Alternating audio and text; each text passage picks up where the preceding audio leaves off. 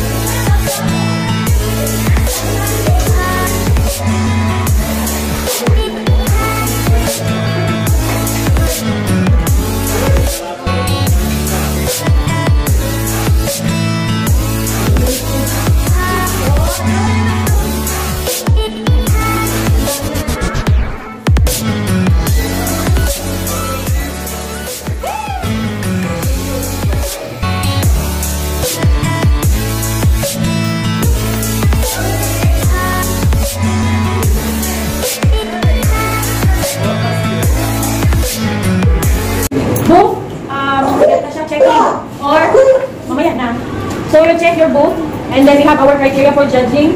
So our criteria for judging is um, 30% for appropriateness of the team of your group.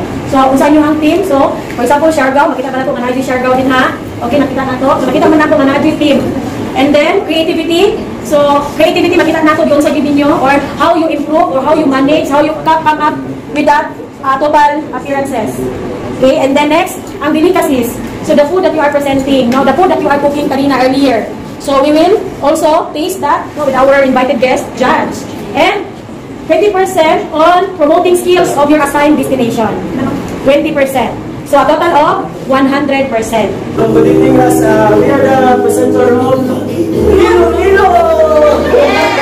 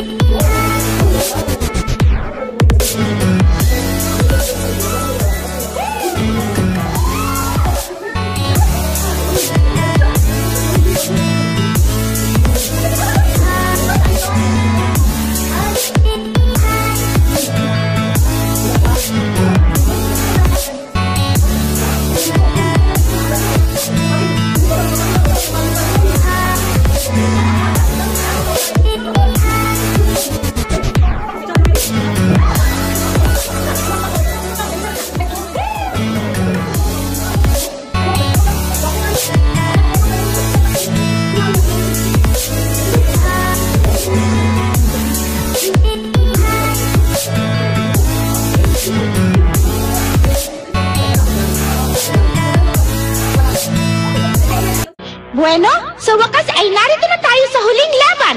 Ang huling bahagi ng palaro ng kabilang daigdig ay narito na.